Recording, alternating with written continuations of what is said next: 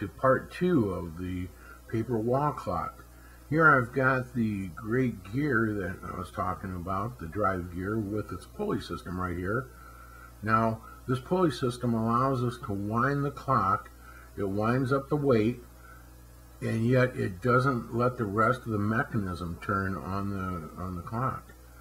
Now the gears of the great wheel will turn the pinions here on the secondary gear so that the drive continues right through the gears and then this smaller gear will be turning the escapement wheel and transferring the power to that. Now here's our escapement wheel. It's got the pinion on it and then it's also got the curved teeth that will catch the escapement lever. And here's the escapement lever this is what goes back and forth and it actually it stops and then it and then it gives an impulse to the pendulum. Now here's the connector for the pendulum and what this does is this allows us to transfer the the swing of the pendulum up into the escapement lever. Now we've got the great wheel and the secondary gear already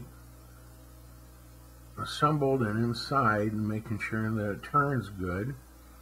I've got some temporary axles on there and everything's looking pretty good so far. So we want to make sure that it doesn't bind up anywhere. It's better to have a little loose than a little tight.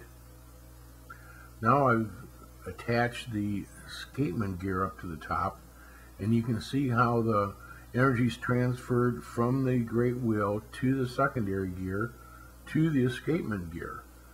And this will allow us to keep our time. Now when the escapement lever is attached, then as the pendulum swings back and forth, it stops the escapement and lets it go. Stops and lets it go, and that's because of the way a pendulum works, is perfectly timed every time.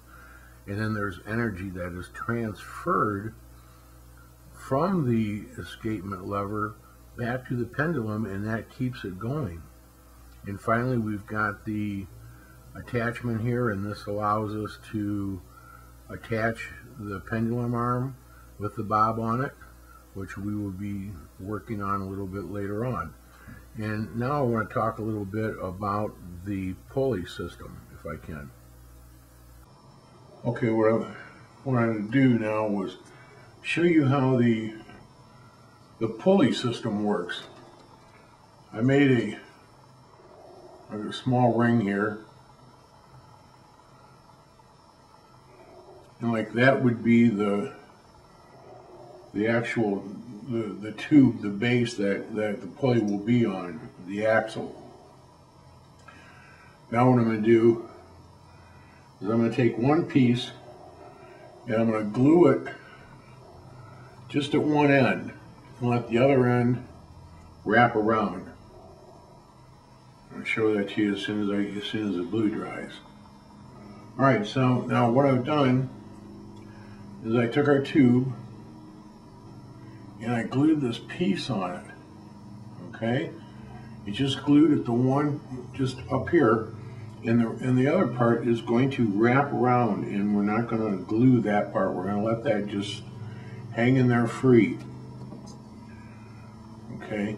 And while I'm at it, I just, now I don't endorse any products. I'm not, I'm just, I'm doing the stuff and I'm letting you know how I'm doing it. That might help you. You know, you have your own things and that, but I know in the past when people said, hey, I know this works good, it, it saves you a lot of time from trying to find other things. It saves you money. I use a stuff called uh, Zip Dry. and I got it at uh, uh, Jo-Ann Fabrics because they got a lot of stuff that you can work with paper for the people that do scrapbooking and that. So that's always a that's a good source for a lot of things. That's where I got the where I got this uh, needles, knitting needles to for my axles. You know, reasonable, good places, close. So that's what I use. I use this stuff here, this paper glue, uh, it's real reasonable. And so far, this whole thing, uh, this whole project that I've done so far, you know, not even halfway through the bottle yet. So that's that's pretty good, and it kind of it works really fast. So I've taken this. Now I've got one piece. It gets wrapped around like that, and not glued though. It's just it's steady. Now I'm going to take another piece and I'm going to put around it, and I'm going to show you that in just a second. All right, now what I've what I've done is is made another ring, and this would be the the outer wrap that that the actual uh, lines will be hooked to. Like for instance, the weight will be wrapped around this way, coming down, and on the other part, the pulley ring will be wrapped this way. So when you pull the pulley down, this will spin like it would, to you would be spinning clockwise. As it spins clockwise, it winds the weight around it. Now, if you didn't have a way of stopping it, as soon as you let go of the, the pulley ring, the weight would let it, let it fall. So we, that's what the escapement's for. The escapement keeps the time.